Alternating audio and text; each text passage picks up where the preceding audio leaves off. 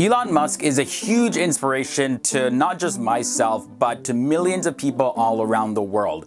He's known for his Tesla electric sports cars, but there's a lot more that you didn't know about this guy. Hey guys, how's it going? I'm Leroy Kenton. Welcome to another episode of FTD Facts. And now I'm excited about this guy, the real life Tony Stark.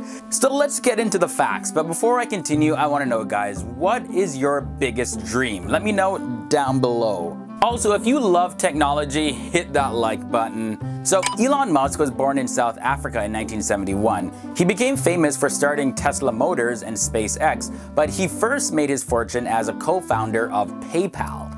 When Elon Musk was 17 years old, he moved from South Africa to Canada. He attended college in the US at the University of Pennsylvania. After graduating, he moved to California in order to begin graduate school in physics at Stanford University. He left Stanford after just two days after deciding to take advantage of the internet boom. So after dropping out of grad school, Elon Musk established his first company, Zip2, which provided online newspapers with maps and business directories. He sold that company in 1999 for $307 million. Elon Musk co-founded Tesla Motors, a company that designs and manufactures electric sports cars. Tesla was able to succeed in the electric car market where other large manufacturers failed.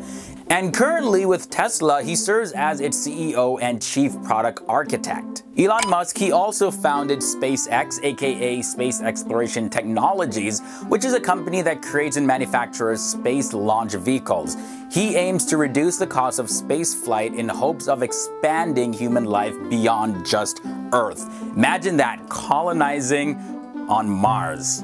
Despite his enormous success in being a multi-billionaire, both of his main companies, SpaceX and Tesla Motors, came very close to failing. So Tesla's first electric car, the Roadster, faced an ongoing string of production problems, and SpaceX had three launch failures before its first and final effort was a success. So that clearly goes to show you that just because you failed doesn't mean that you gotta give up on your dreams. You're just now one step closer because you've tried something that didn't work, so you're one step closer to finding what will work. But continuing with another fact in regards to Elon Musk's money, yeah, he almost went broke, okay? So, amid the Great Recession and an expensive divorce from his first wife, Elon Musk was living off of loans from his wealthy friends.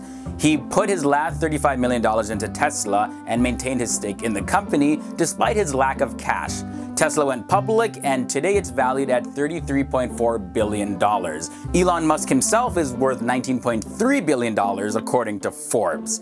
Now, in 2013, Elon Musk he introduced his latest endeavor, which is the Hyperloop. It's a new form of transportation that could theoretically send people from San Francisco to LA in half an hour by using pressurized tubes. Now, this is still in the works, and Elon Musk has said that if no one else will build it, he definitely will do it himself. He also believes that AI is humanity's biggest existential threat. Yeah, he's pretty cautious of AI, surprisingly. In fact, he fears that AI could become more powerful than people, perhaps causing human extinction if it grows too smart.